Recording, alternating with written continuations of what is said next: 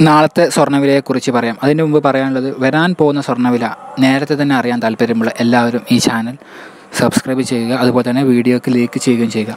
നിങ്ങൾ സബ്സ്ക്രൈബ് ചെയ്താലേ നിങ്ങൾക്ക് എല്ലാ അപ്ഡേറ്റുകളും കിട്ടിയെന്ന് ഉറപ്പാക്കാൻ ഇന്ത്യയിലിന് തന്നെ സാധിക്കൂ. കാരണം വേഗത്തിൽ നിങ്ങളിലേക്ക് അത് എത്തണമെന്നുണ്ടെങ്കിൽ നിങ്ങൾ സബ്സ്ക്രൈബ് ചെയ്യണം. അതുപോലെ വീഡിയോക്ക് ലൈക്ക് ചെയ്യുകയും വേണം. നാളത്തെ സ്വർണവിലേക്ക് വരാം.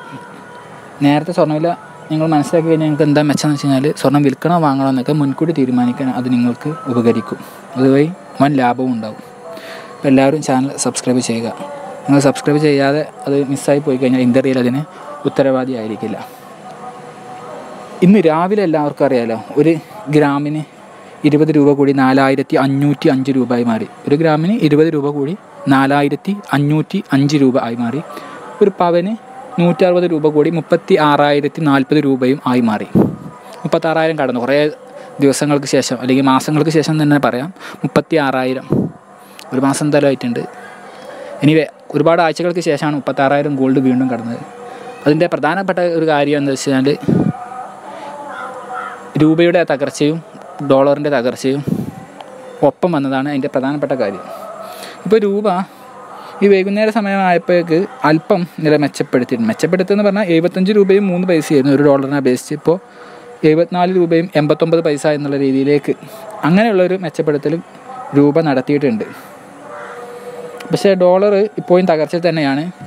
ആയിരത്തി എണ്ണൂറ്റി മൂന്ന് യു എസ് ഡോളർ ഇപ്പോഴും ആഗോള വിപണി ഒരു ഔൺസ് ഗോൾഡിനുണ്ട്. ആയിരത്തി എണ്ണൂറിന്റെ മുകളിൽ തന്നെയാണ് ഉള്ളത് പക്ഷേ ഇന്ത്യയിൽ സൂചിപ്പിച്ചല്ലോ ഒരുപാട് ദിവസങ്ങൾക്ക് ശേഷമാണ് ഇങ്ങനെ ഒരു എന്താ ആയിരത്തി എണ്ണൂറിന്റെ മുകളിലേക്ക് ഗോൾഡ് പോവുകയും കേരളത്തിൽ തന്നെ അല്ലെങ്കിൽ ഇന്ത്യൻ വിപണിയിൽ തന്നെ മുപ്പത്തി ആറായിരത്തിന്റെ മുകളിലേക്ക് പോവുകയും ചെയ്തിട്ടുള്ളത്.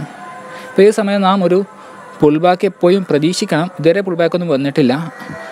ആ പുൾ ബാക്കുകൾ വാങ്ങാനുള്ള അവസരമായിട്ടാണ് ഉപയോഗിക്കേണ്ടത് വിൽക്കാനുള്ളതല്ല. പിന്നെ വിറ്റേ അടങ്ങൂ എന്നുള്ള ആളുകൾക്കൊക്കെ വിൽക്കുന്നതിന് കുഴപ്പമില്ല. കാരണം ഒരുപാട് ദിവസത്തെ ഏറ്റവും വലിയ ഒരുപാട് ആഴ്ചകളിലെ ഏറ്റവും വലിയ പ്രൈസിലാണല്ലോ ഗോൾഡ് നിൽക്കുന്നത്.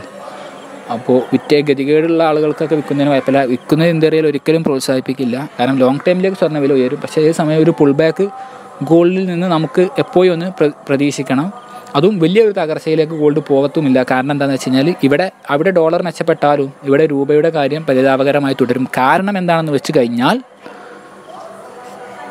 ഈ എനർജി പ്രൈസ് ഓയിൽ പ്രൈസ് അതുപോലെ തന്നെ ഗ്യാസ് അങ്ങനത്തെ സാധനങ്ങളെ വില കൂടി കഴിഞ്ഞാൽ എല്ലാ ഗുഡ്സിന്റെയും സർവീസിന്റെയും ഒക്കെ വേദന വില വർദ്ധിക്കും. അതാണ് ഏറ്റവും വലിയ പോയിന്റ് പെട്രോളിന്റെ വില വർദ്ധിച്ചു കഴിഞ്ഞാൽ സർവ സാധനങ്ങളുടെയും പ്രൈസ് വർദ്ധിക്കും.